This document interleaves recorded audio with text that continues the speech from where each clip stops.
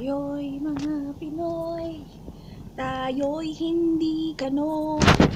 Huwag kang mahihiya kung ang ilong mo ay pango, pango, pango, pango.